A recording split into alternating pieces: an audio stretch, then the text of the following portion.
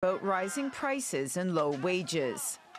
Some set fire to barricades as security forces tried to push them back with tear gas.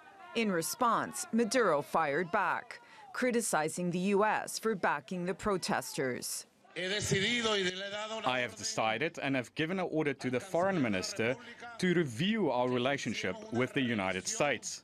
In the coming hours, we will take decisions of a political and diplomatic character in defense of our national sovereignty, in defense of our constitution, and in defense of Venezuelan democracy. Maduro has survived threats to his power before, but this week could be his most challenging yet. Christine Pierofoulakis, TRT World.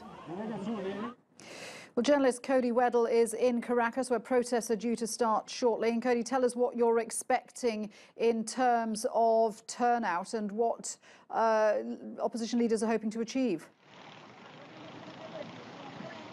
Well, good morning. We are expecting a large turnout here today based on what we've been seeing over the past few weeks. We've been seeing the opposition hold these town hall meetings across the country, and it has really generated a lot of excitement. And I think uh, the government here is worried about the turnout today, and we've already been seeing that.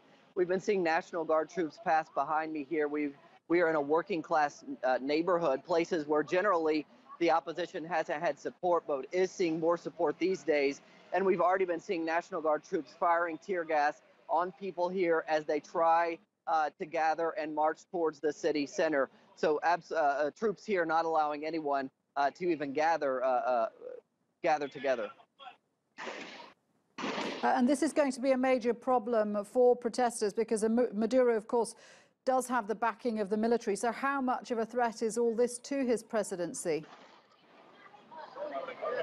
Well, it does appear that it is a threat to his presidency. Uh, for now, Maduro, as you said, has the backing of the uh, of the armed forces what Juan Guaido, the opposition uh, leader here, is urging.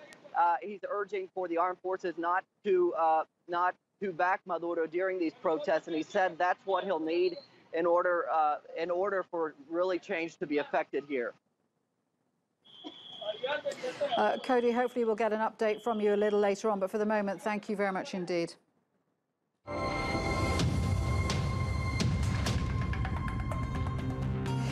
Still to come.